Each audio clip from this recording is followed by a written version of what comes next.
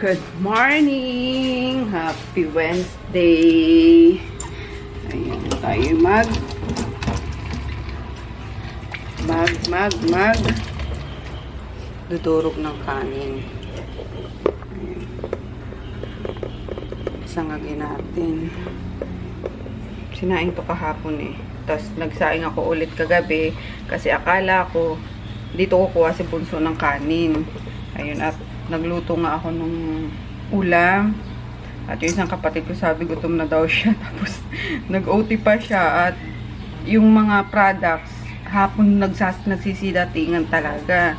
So pag umaga wala kami masyadong ginagawa. Tapos pag hapon, doon naman nagsisidatingan. Eh, syempre, hapon na yun eh. Tatapos ng araw. Kaya, ewan ko ng oras na um, umuwi yan. Pero ayun nga, ang dami ko din nakain kagabi. Hindi naman sobrang dami. Binabawi agad din, no? I mean, sobrang gutom ko kahapon na morning lang yung kinain ko. Ang sarap-sarap ng kain ko ng ano, sinigang na hipon plus yung ano nga, di ba, mga nilagang ano lang, um, gulay. Ayan, tas speaking of gulay, inaantay ko yung ano kanina pa, nag-text ng uma maaga, 6 o'clock pasado ata yun, yung sa salad.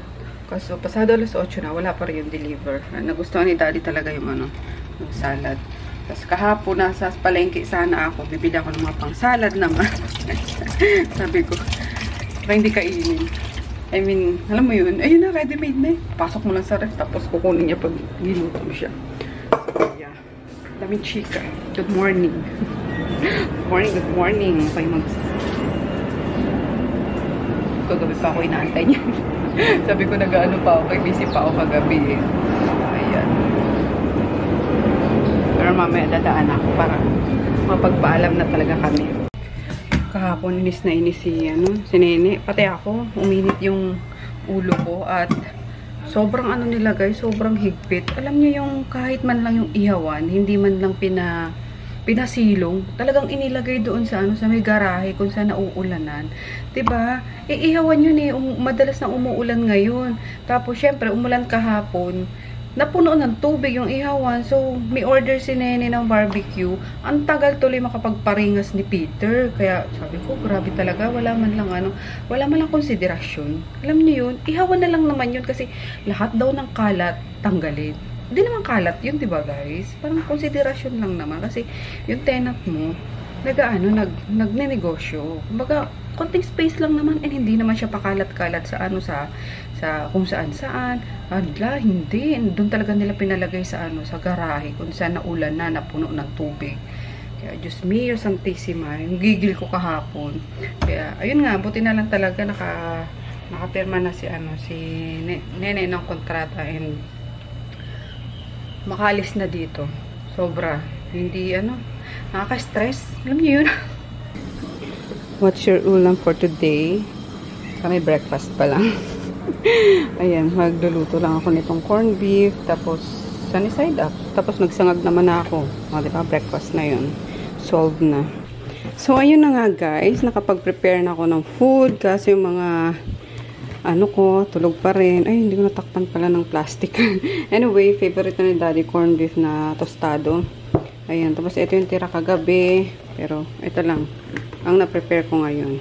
So, garlic rice, fried rice, um, toasted corned beef, egg, tsaka hotdog. So, breakfast na breakfast talaga yan. Tagal na gumising. Ayan. Basta ako, nakapag-prepare na. Then, nag-coffee lang ako. Ayan. And then, kahapon bumili ako. Kahapon dumating, hindi kahapon bumili. Kaya nakita ko sa home bodies din to. Ano ba to home bodies? Lakas lagi makaano, budol. Ayan. Um, parang ziplock. Reusable siya na ano. Paglalagyan ng mga karne, ganun. So, mas ano, mas save, uh, space saver siya compared dun sa mga ano ng ice cream, di ba? Or not sure. Kung pareho, pareho lang naman kasi ilalaman mo, di ba? Pero tingnan natin. So, bumili ako ng apat lang ata to apat yeah nasa 30 pesos lang ata isa nito something ganan so dahil mga tulog pa sila mag shower na ako kasi marami kaming gagawin eh. Sabi ko nga sa inyo kahapon, hindi natapos yung mga papaship namin sa Canada at sa Australia. Tapos yung Isabel ko, hanggang ngayon wala. Oh, 10.30 na. Ang sweet naman ng RD ko, ayan, binigyan yung buong team ng, ano, Team NCR South. Netong papayong. Ang cute ng ano, lagayan. So, ayan. Bibit-biting ko na pag magsisimba. Hi, Milky! Nakabantay agad yan. Oh! Milky Way! Milky Way! Oh, isusoli na ang Milky na yan. Isusoli na yan. Hindi ka na makakasama sa kabila. Sayang na bunso. Ate na lang to. Charot. Naman. Ang linis pati niya, no? Pinaliguan to eh. Hmm. Pinaliguan niya. Mabango yan, guys. Nasaan si Percy Boy? Ayun si Percy Boy. Ay! Baka magselos naman din to. Hi! Hi! Magselos naman yung aming ano, baby dito. Mga magselos naman yung aming baby rito. Hmm? Hmm? Hmm? Ah, sige, back, back to sleep ka. hmm? Surang mo, Percy. Anyway, ayan, busy-busy. Pagpapak ng Shopee. Shopee. Yung TikTok tapos ko na. Si Bunso nag sticker pa. With matching Colombo. Dami namin yung ano. oh. Ang dami namin ililipat. Ayan, kaya ano na, ah, naghanap na ako ng karpintero para mapasimulan yung ano, yung tambakan ko ng mga product. I mean, yung space ng RMK doon. So, mamaya guys, try natin makapunta doon sa aming karpintero. Ayan, dito kami guys sa aming lilipatan. Check lang natin. O, diba? Sobrang luwag. Kaso, mga minor ano, may mga minor pang gagawin. Ayan. Oo, ha? Luwag yarn. Mega lilinisin nga lang talaga. So, ito yung sa RMK na muna. Pansamantala na magiging tambakan. Ayan. Back, back to bahay tayo. Luwag naman, di ba? Maayos naman, oh. Walang pambilya, eh. Hello! So, ito na tayo, guys, sa pinaka-favorite time of the day ko. Ang matutulog na. Grabe, sobrang daming pagod. Gustong gusto ko yung dumating yung ganitong time na matutulog na talaga. Ayan. And so far, dire-diretso naman lagi yung tulog ko nang dahil nga sa Kagaya, Kagayaki. Oo, pang third battle ko na yan, guys. Sobrang, coconut! Ano ba yun? Sobrang, ano, effective nito mag, ano, magpa, magpakalma sa gabi. Magpaantok, magpahimbing ng tulog. So, ito na nga, paulit-ulit na ata ako yung pinalit ko sa melatonin nga. So, anyway, ayun lang. Good night. See you all tomorrow. Kasi, yan. Ah, papagawa ko na yung ano doon sa lilipatan namin. Yung parang pinaka-space ng RMK. And then, basta, within 2 weeks dapat, mapaayos na yun para makalipat na kami bago magkatapusan. So, na-excite ako na magsasama-sama na kami ano, magkakapatid, sila nene. Kasi, ayun nga, hindi ko na po problemahin ang ulam lagi. Magluluto na. Ginawa ang tagaluto si nene eh. Tapos, ayun nga, sobrang laking tipid kasi na, ayun, isang renta na lang ang iisipin namin kesa ayun, separate kinene sa taas, separate dito sa akin, tapos separate pa sa ano sa store. 'Di ba? So ayun, nandoon na lahat. I mean, kasama na kasama na lahat. So, ayan, and then sobrang luwag ng ano, ng bahay talaga. so yun lang, saka na saka ko na kayo i-tour kapag ka okay na yun, guys. Okay? So good night till tomorrow. Good morning. Alas 5 pa lang. Umukulo yung tiyan ko. Nagugutom ako. Hindi na ako nakatulog. Kumain pa pala si Chris, oh. Si Chris ba kumain ikaw, daddy? Hmm? Si Chris kumain o ikaw? Chris, may hugasan dito, oh. So, ayun nga. Alas 5 pa lang, guys. mga 4.30 ata, nagising ako para mag umihi. Hindi ako nakatulog kasi iniisip ko din yung yung lilipatan namin. diba? Oo, masyado excited. Ba't ikaw di? Hindi ka rin makatulog. Dati di. Gulo mo, pa akong bulaki. Ha? Akong bulaki. Kaya ka ng galit. Sana eh, magka-coffee lang ako na.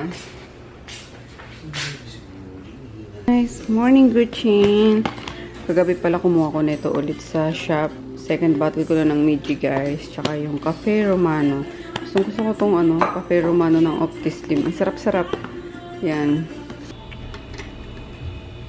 So, ayun nga. Hindi na kami nakatulog ulit. Noong oras na kasi yun, alas 5. Tapos, nanood kami nung, ano ba yan? Basta yung horror ngayon sa ano, sa Netflix.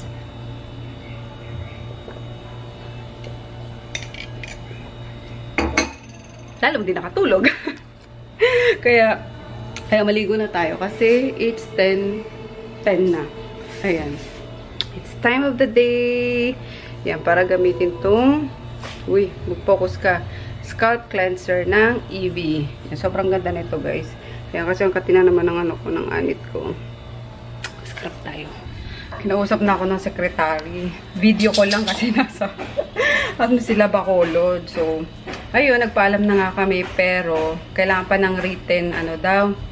Parang written notice na ibabakate namin yung place.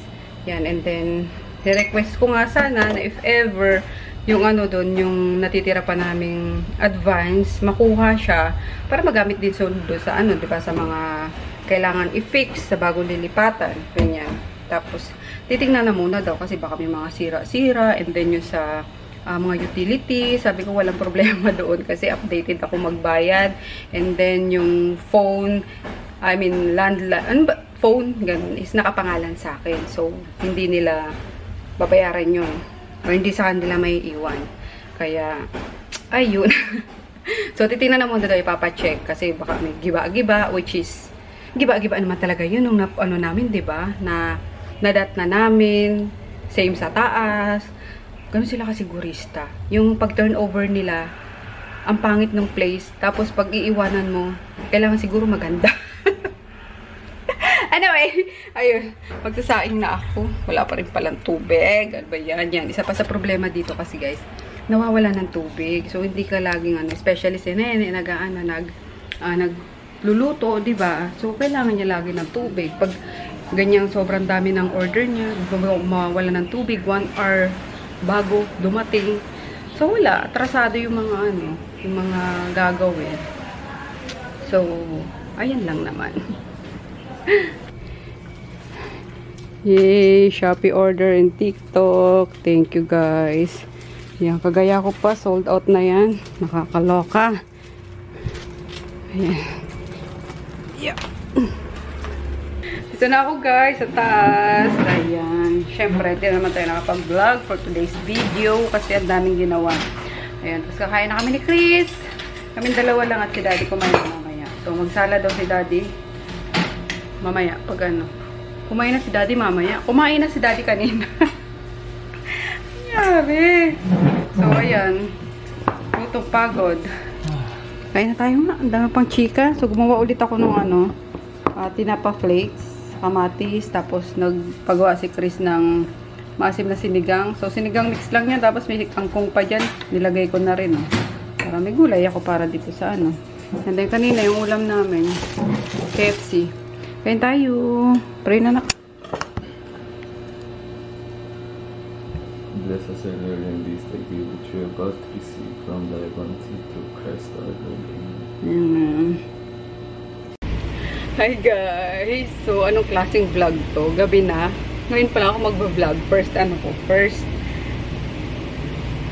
clip. Pero anyway, ayan, update lang tayo kasi kanina maaga akong gumising. Actually, wala akong tulog guys. Ayan, to be honest, wala akong tulog kasi ang ingay kagabi ni Chris and hindi, hindi si Chris yung ano yung dahilan.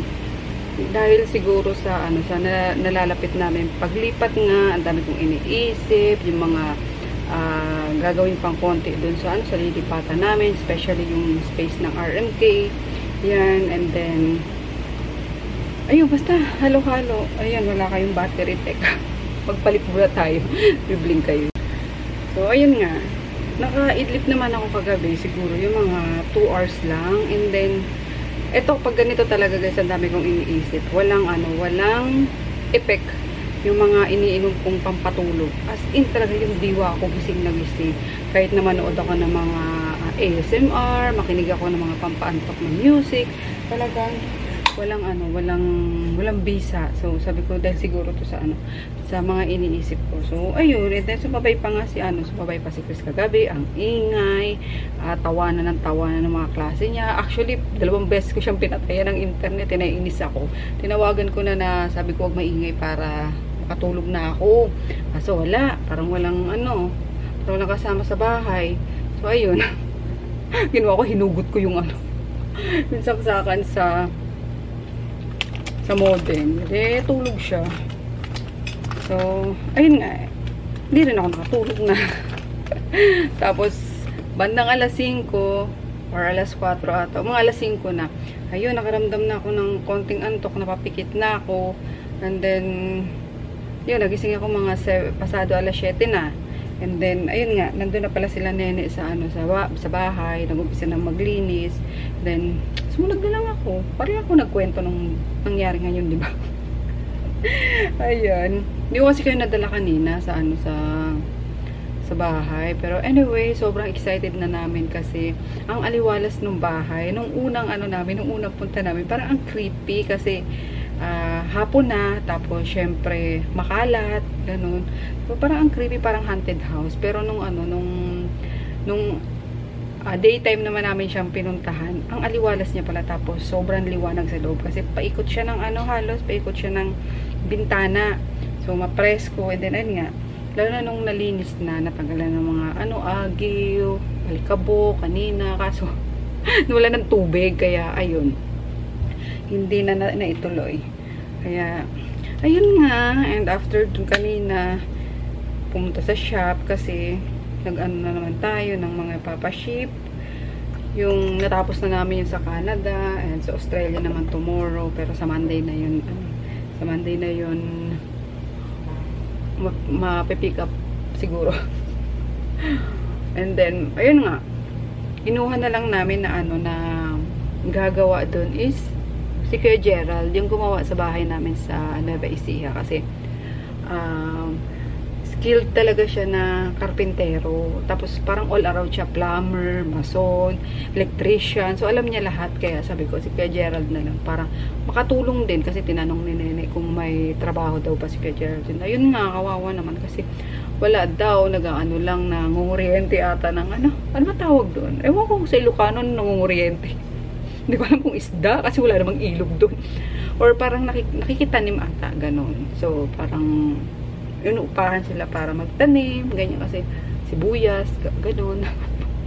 Bawang, mga sili, di ba? Sa Nueva Ecija yan.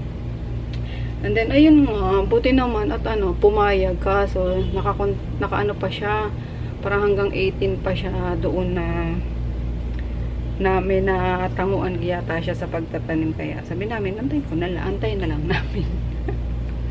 Nakakaluka parang talaga ako nagkwento. Ano parang buong ano buong vlog ko is ano lang kwento lang. Pero anyway ayun lang. Sobrang ano sobrang excited.